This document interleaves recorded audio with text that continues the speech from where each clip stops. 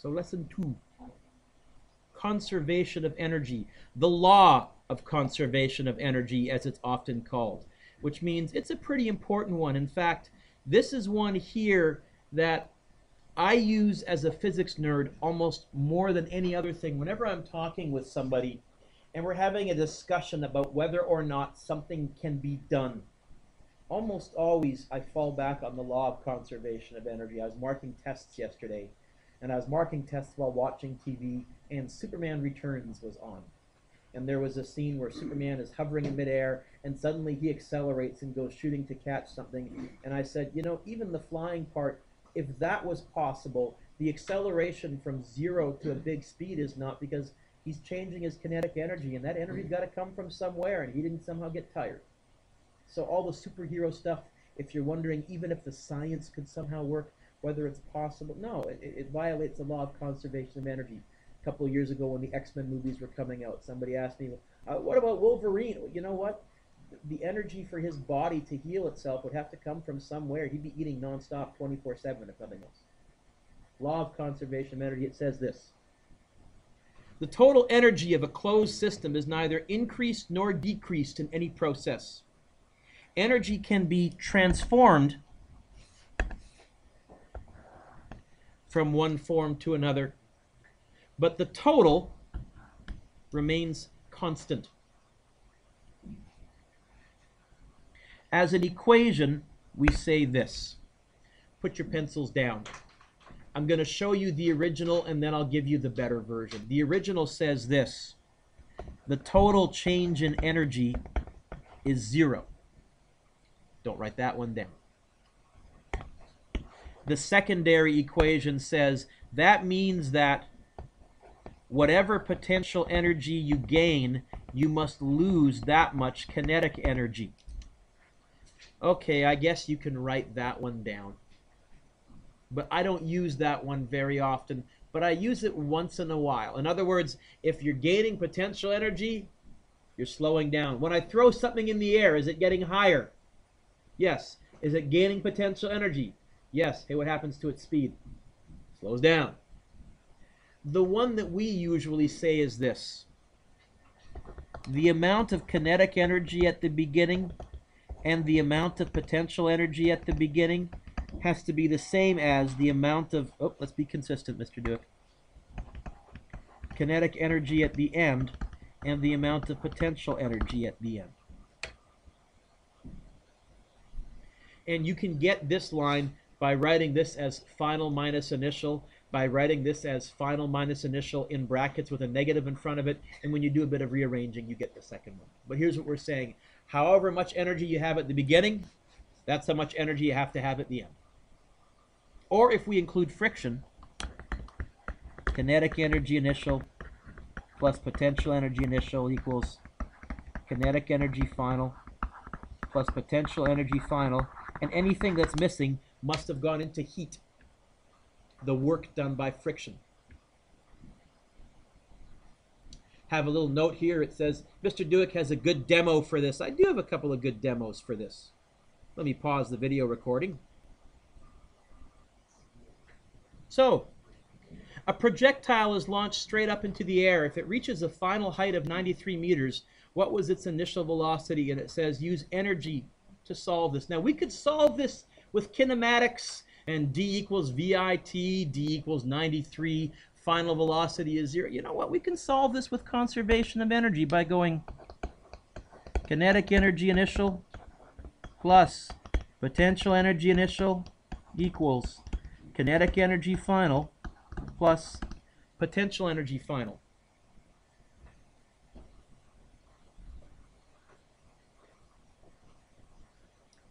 Jordan, are any of these zero now that you're paying attention? Let's see. How high are we starting out at? No, no, how high are we starting out at?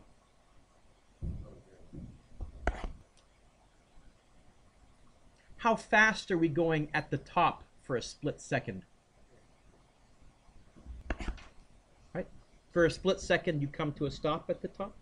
As long as we're being launched straight up, does the question say straight up? So this equation simplifies to a half mv initial squared, that equals mgh final. Is that okay? Sorry, what? Heard someone say something, I thought. Mass is. That's kind of nice. Because they didn't tell me the mass. A little worried for a second there. And what are they asking me to find? The initial velocity.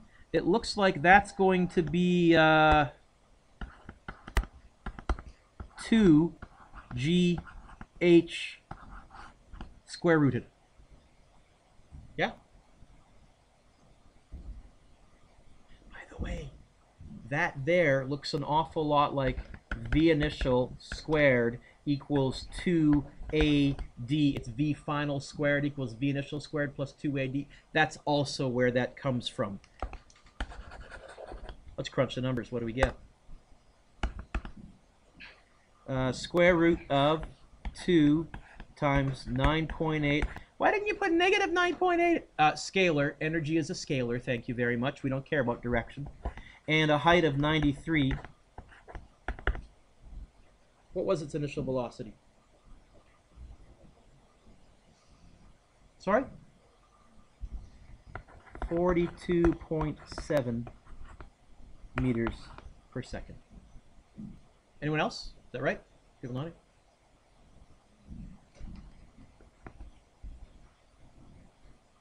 I'm going to say energies, that's probably an easier approach than using kinematics from Unit 1. Now that worked because it was going straight up. Example 2. A 350 kilogram roller coaster car is traveling at 22 meters per second. Now, energy is what we use an awful lot for amusement parks, especially roller coasters. They're a classic example of conservation of energy. Did I mention I was in California on the weekend? Okay. 350 kilogram roller coaster car is traveling at 22 meters per second. If the car starts out at a height of 12 meters, how fast will the car be traveling when it gets to ground level? Because energy is a scalar, Justin, I don't care whether the roller coaster looks like this or like this or even like that. Because energy is a scalar, all it's concerned with is your before and your after. So roller coasters usually are curvy. That's why energy is such a nice tool to analyze them. To try and do it with forces, your angle is changing all the time. You'd be doing all sorts of cosines and sines along the way. Blech. We're going to say this. Kinetic energy initial plus potential energy initial equals kinetic energy final plus potential energy final. Sally, what did you say kinetic energy was equal to? Uh, no, the equation, kiddo? You just looked it up. So this is going to be a half m v initial squared plus m g h initial equals 1 half m v final squared plus m g h final. Are any of those zero? Let's see. Is our initial speed zero? No. Is our initial height zero? Nope. Is our final speed zero? No, in fact, that's what they're asking us to find, isn't it? Is our final height zero? Ah! A little nicer. Oh, and not only that. What? Justin, do you have to step on a scale before you go on a roller coaster? This is why. Otherwise, they would have to carefully weigh everybody and balance them all off to make certain that the roller coaster wouldn't come to a stop midway through the coaster and they'd have to get everybody off. So yeah, as it turns out, because there's an M in everything, the masses cancel. By the way, does this question mention friction or anything like that? Or heat? If it did, I would have plus heat right here, but it didn't. You know what else I'm going to do? I don't like the fractions. I'm going to multiply everything by 2. Why, Gordon? Well, what's 2 times a half? Cancels. What's 2 times a half? Now here the 2 doesn't cancel, but I'm going to suggest to you that this equation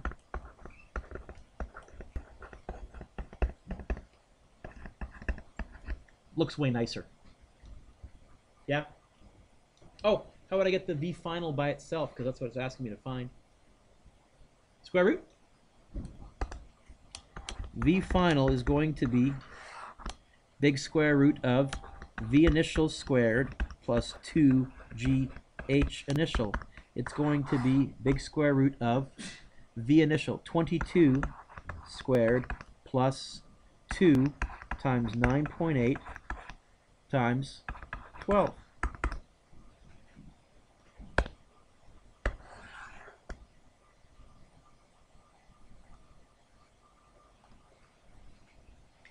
Let's see.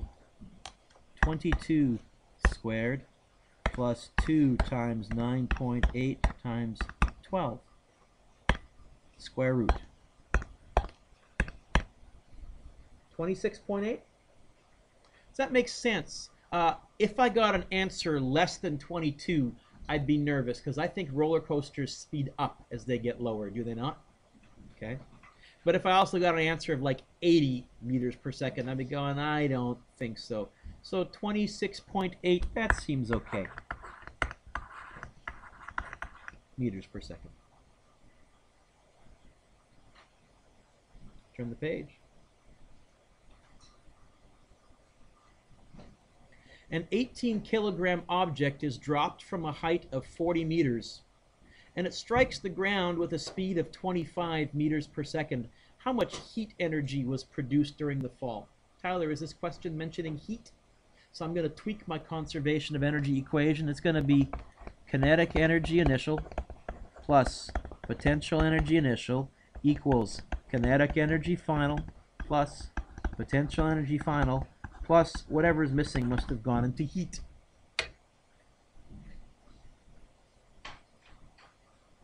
Sally, what did you say the equation for kinetic energy was? So this is going to be a half mvi squared plus mghi equals 1 half mvf squared plus mghf plus heat. Are any of these zero? let's see. Dropped. What does that tell me about my initial speed? If we drop an object, we must have been holding it still, right? So, gone. Is my initial height zero? Nope. Is my final speed zero? Well, after impact it is, but I think this is talking about right at impact. Oh, in fact, it tells me my final speed, so no, it's not zero. Is my final height zero? Ah, take that. In fact, if I'm looking at this, Tyler, it seems to me that the heat is going to be mgh initial minus a half mv final squared. Connor, is that okay? Right? Minus the half mb squared over? Uh, do the masses cancel this time? Tyler says no. He's correct. Why not, Tyler? Heat does not contain an M in it anywhere, does it? So, Justin, I lied a little bit. Actually, when we're including friction, the mass does matter. Although, do you think they make roller coasters almost frictionless because they, they roll really smooth? So that's why, even though the mass does make a tiny bit of difference, they build a safety margin into the ride and they make it as frictionless as possible. So I fibbed a little. This is going to be uh, M18, G 9.8, 40 minus a half 18, 25 squared. Mr. Dueck, what do you mean by heating up the air? Is there not air resistance in the real world? And isn't that actually air friction? Yeah, this would be the work done by the air and it would have gone primarily into heat. Some of it into sound, because when you drop something, you can sometimes hear it whistling, you can hear the noise. So fair enough. But most of it into heat. What do we get?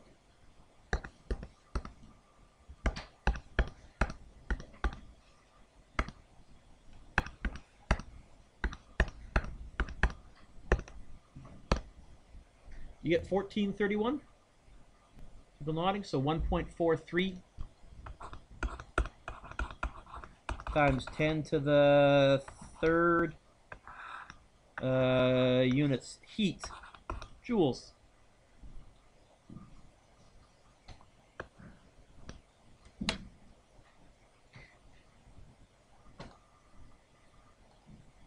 And if you don't think that heat can be generated during impact, you've forgotten the chrome spheres that I just smacked together.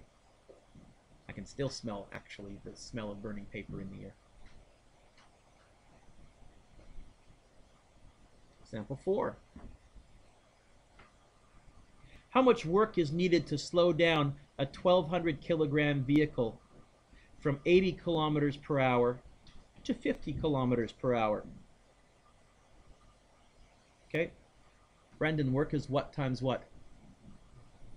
Are they mentioning a force or a distance anywhere in this question? Say no. No. And Megan, force is also what under a force versus distance graph? It's the area. Have they given me a graph here? You know what other, our third definition of work, we're going to use the work energy theorem. We're going to say work equals the change in potential plus the change in kinetic. Although, Megan, look carefully at this question. Is it mentioning a change in height anywhere? I don't think there is any change in potential. It's going to be change in kinetic. Oh, and what's change in anything? Okay, so this is going to be a half mv final squared minus a half m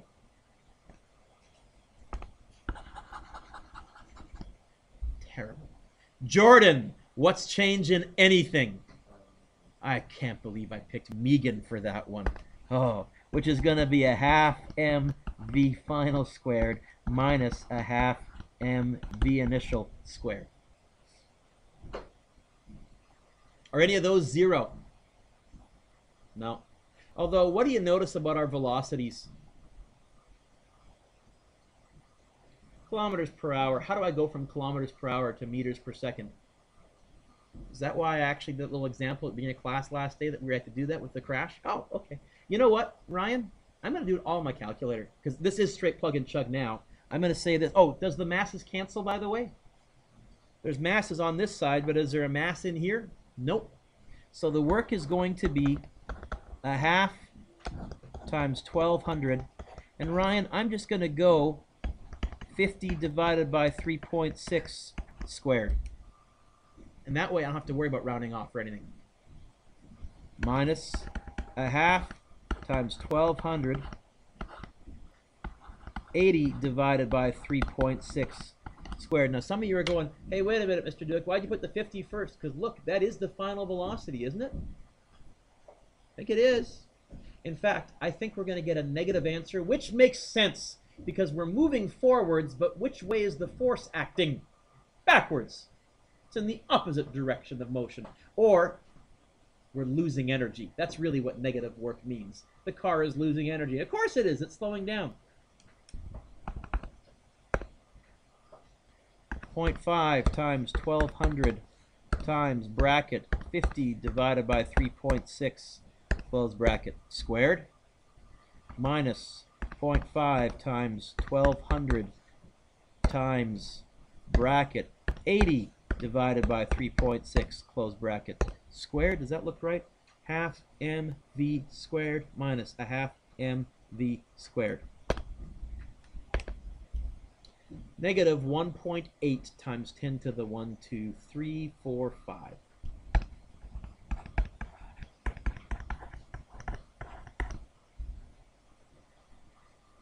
Which force does the work? Friction. Hey, where do you think this energy is transferred to? Do brakes heat up? Yeah. Now, this is a bit incorrect now. you may have heard the term with some of the hybrid vehicles, the term regenerative braking. What they're actually doing is instead of having that energy get transferred to heat, they're pulling that back into the batteries. When you brake, you start to recharge your batteries. Brilliant. Because that energy's got to go somewhere. Why not use it? Oh, and that's a fair chunk of energy. Um, that's half the energy that it took to piggyback somebody up a mountainside. Would it tire you out to piggyback somebody up a mountainside? Remember we did that question last day? I think it was around 350,000 joules. So that's a lot of energy. We can do something with that. Absolutely.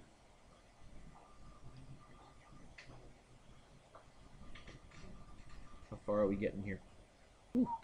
Don't know if we'll get through the whole lesson. We'll see. Got too many toys to show you.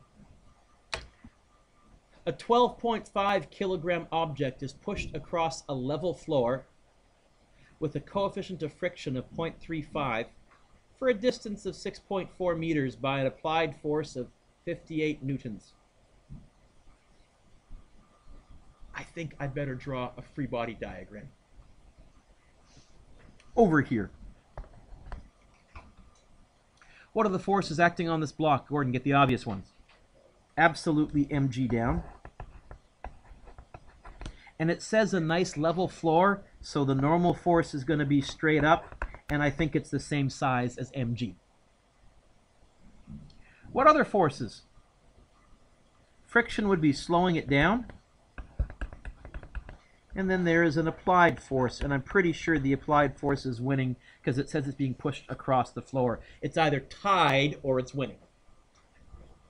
So, how much work is done by the applied force? Work is force times distance. Do I know the applied force?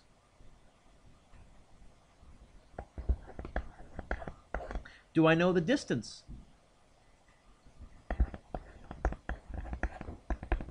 The applied force did 58 times 6.4, 371 joules of work.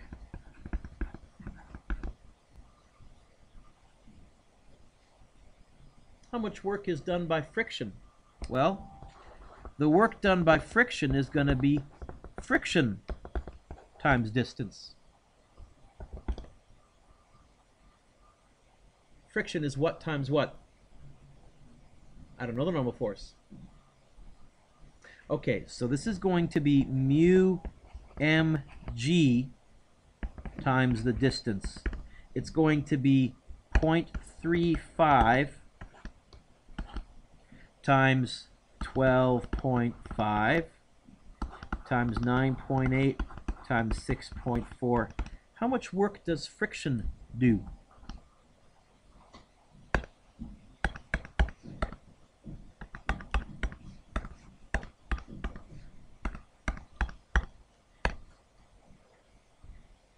Two hundred seventy-four.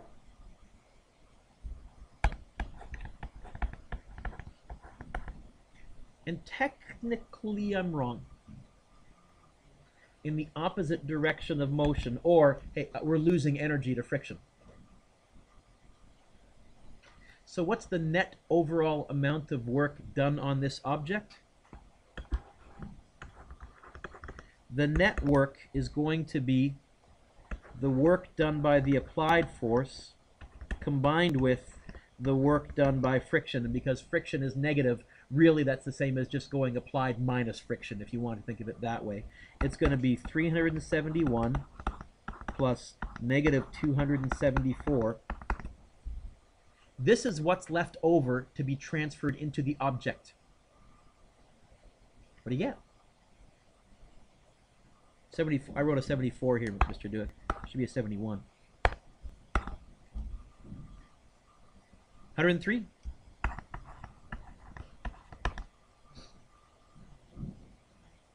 Sorry? 96.3? 96.8? Oh, you kept the exact values? That's what's extra. Where's that going? That's going into kinetic energy. The object's speeding up. How much That's how much energy there is to speed it up, a half mv squared. In fact, I could figure out what v was, assuming we started from zero. If I knew it started from rest, this is my change in kinetic. And Jordan, what's change in anything? I could go kinetic energy final minus kinetic energy initial. If the kinetic energy initial was zero, I could find in this question as a part D, how fast is the object traveling after 6.4 meters? I could figure that out. Oh, apparently I thought that was a great question. Because when I look at part D, that I was going, swear I would have asked that. Well, how would I have missed that? Assuming the object started from rest, what will the final speed of the object be after 6.4 meters? So we said 96.8 equals the change in kinetic. 96.8 equals 1 half mv final squared. Uh, minus a half mv initial, but Justin, what is v initial? Zero. Is that okay? All right. It looks like v final is going to be 2 times 96.8 divided by the mass all square rooted. What was the mass? I turned the page. 12.5? Okay. So this is going to be 2 times 96.8 divided by 12.5 square rooted. 3.93 meters per second. Megan, my hockey player, this is what you're doing when you're skating on the ice. You exert a force bigger than friction. You do work against friction on the ice. Whatever energy is left over after friction goes into changing your kinetic energy and causing you to speed up. Although it's a bit more complicated than that because you can't keep speeding up forever and ever and ever and ever and ever. You do plateau and top out. Why? Uh, we'll talk about that a bit later. Then E says, calculate the final velocity of the object after 6.4 meters. There should be a meters there. I won't put it in. Well, heck. Meters. Using kinematics. Okay. I would go V final equals, I don't know. What was V initial? Zero. Right, from rest? What was the distance that we traveled, Gordon? 6.4. You know, if I knew the acceleration, I could go Vf squared equals Vi squared plus 2AD. How could I figure out the acceleration? Winner minus loser. Right? Just like last unit. We would go, uh, well, my free body diagram. Who's winning? Who's losing? winner minus loser equals, there's only one mass, so MA. What was the force applied? Uh, 58. Minus, friction is what times what? U times the normal force. I don't know the normal force. Oh, uh, it's going to be minus mu mg all divided by the mass, that equals the acceleration.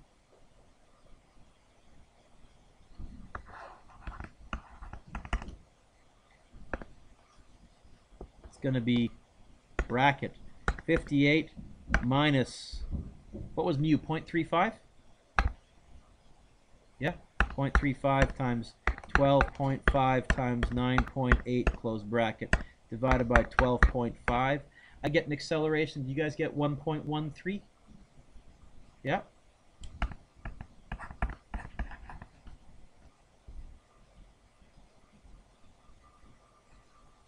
And I would bring that over to here. 1.13. And now I can go VF squared equals vi squared plus 2ad vi is 0. vf is going to be the square root of 2 AD.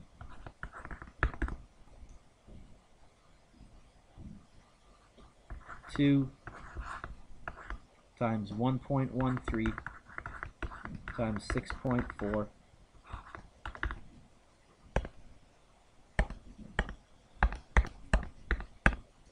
square root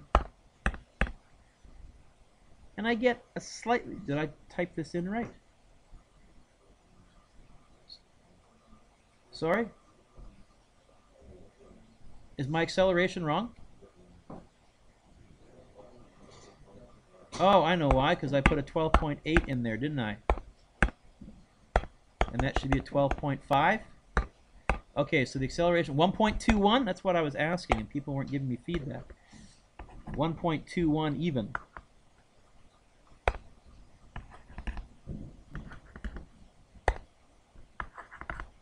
So let's try that again. 2 times 1.21 times 6.4 this one should be bang on, I'll bet you. Square root, yeah, 3.93.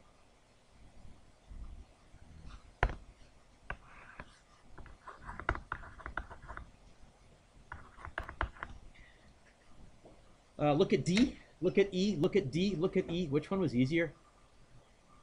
The energy is a much nicer one to do arithmetic with, I gotta say. It is.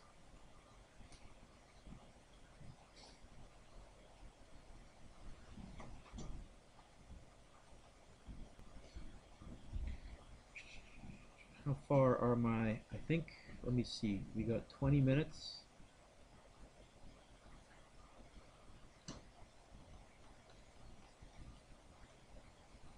Go a few more. I think we're going to finish this one. A spring in a toy gun.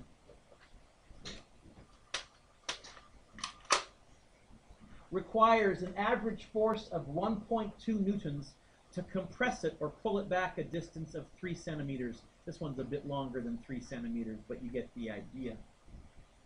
If you're exerting a force over a distance, you must be doing work on it. You're adding energy to the system. How much stored energy is there? Let's see.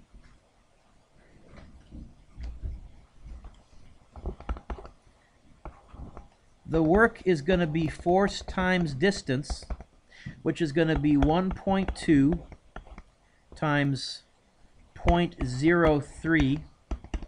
How many joules of energy is stored in here? 0.03, 0.036 joules. That's stored elastic energy. potential.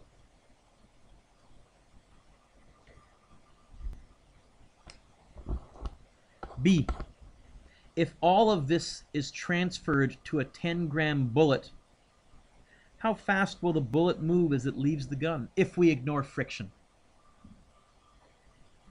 I think what we're saying here is all of your potential is transformed into kinetic.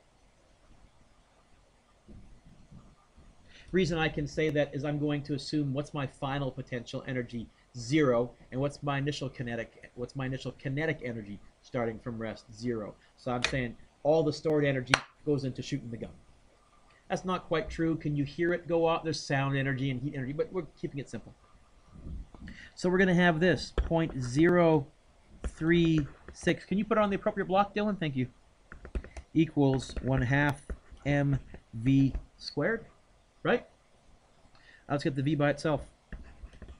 V is going to be 2 times 0.036 divided by the mass, which is 10 grams, which is 0.01, square rooted. 2 times 0.036 divided by 0.01, square root. 2.7 meters per second. So traveling about from, put on the appropriate block please.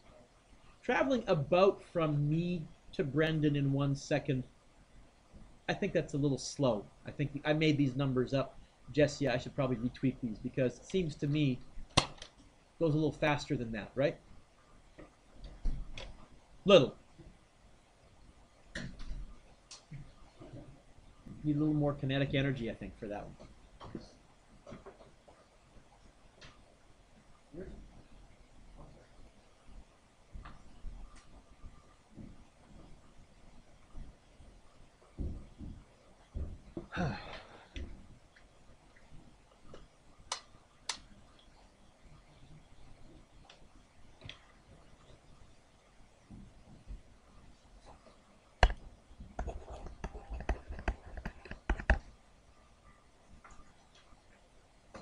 That's a weird color. Gray? Okay. Here's your first start of homework. You can start here. First bit of homework, you can start here. Tarzan, number one. Number two. Number three. Number four. Uh, six.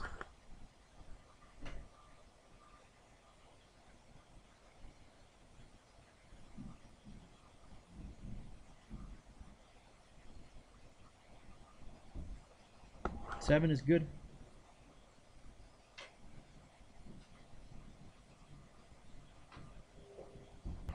Eight is good. This is not all due tonight because I see you guys tomorrow. Let me press pause for a second here.